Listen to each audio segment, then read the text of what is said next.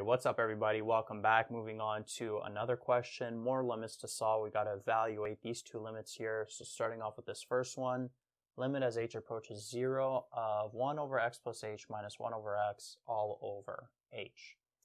This one is pretty tricky, pretty unique. Whenever you see something like this, and you got these fractions here, almost always you're going to have to make them into one fraction.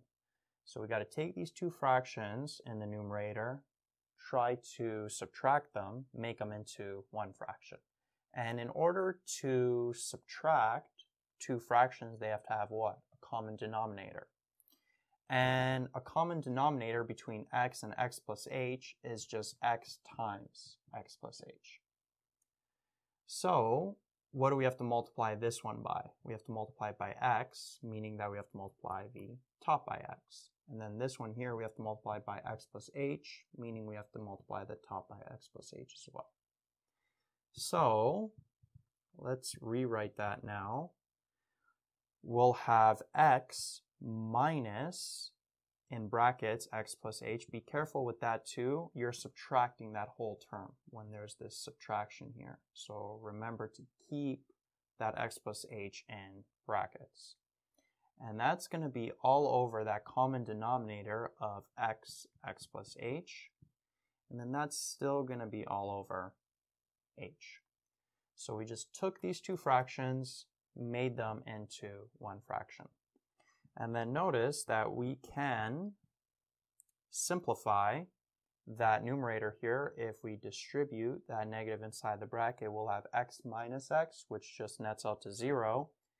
Then we'll be left with negative h up top. Then we'll have x times x plus h, and it's going to be all over this h value here. So we can take this h value, put it over 1, and it's like we're taking a fraction, dividing it by another fraction, which is the same as taking the fraction in the numerator, so negative h over x, x plus h, and multiplying it by the reciprocal of that second fraction, right? A fraction divided by the second fraction is like the first fraction times the reciprocal of the second fraction. So we'd be multiplying by the reciprocal of h over 1, which is just 1 over h.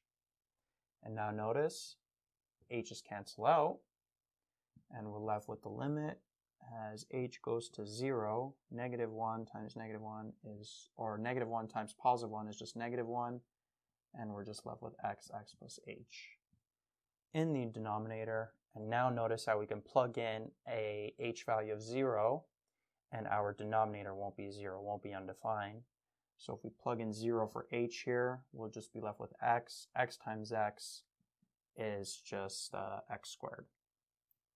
So our final answer is negative 1 over x squared. That is the limit for the original.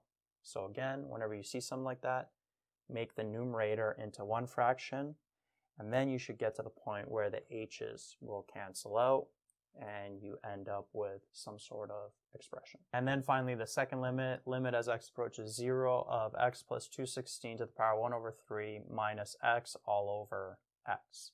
Direct substitution, can we do it? Plugging in 0 for x, we can't because the denominator is going to be 0.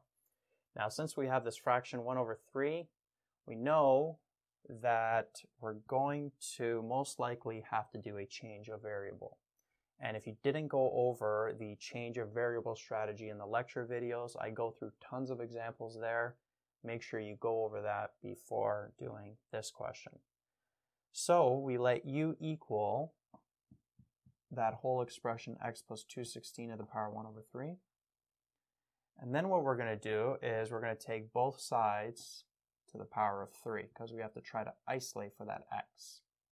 So we'll have u to the power of 3 equals x plus 216. Bring the 216 over, we got u cubed minus 216 equals x. So now we have something to sub in for the x, and we also have something to sub in for that expression, which we made u. Let's actually rewrite it, or let's, um, let's rewrite it down here. So we got u equals x plus 216 to the power of 1 over 3. So we got a substitution here, here, so the x's are gone in the expression. However, notice that there's still an x here as x approaches 0, and we need everything to be changed. However, when x approaches 0, notice that if we plug in 0 for x here, we'll have 216 to the power 1 over 3, which gives us 6.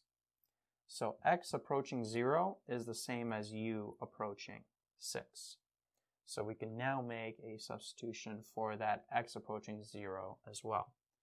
So we can rewrite all of this as the limit as u approaches 6, x plus 216 to the power 1 over 3 is just u, minus 6 all over u to the power 3 minus 216, right? This expression for x. And notice we can't make a direct substitution yet, but already this is looking a lot nicer. There's no radicals or ugly radicals to deal with, or rational exponents. And that u to the power of 3 minus 216, that is a difference of cubes. So that factors into u minus 6, u squared plus um, 6 times u, 6u plus 36. Right? If you remember, difference of cubes, it's equal to a minus b times a squared plus ab plus b squared. And now notice that the u minus 6's cancel out, and now we can make a direct substitution of u equaling 6. And when we do that, we'd have 1 in the numerator, 6 squared plus 6 times 6 plus 36. All of these are 36, so it's like 36 times 3, which is just 108. And that is your final answer. 1 over 108 is the answer to this limit. So you got to do a change of variable, change everything to be in terms of u, got a difference of cubes, u minus 6's cancel out, then plug in a u value of 6, you get 1 over 108.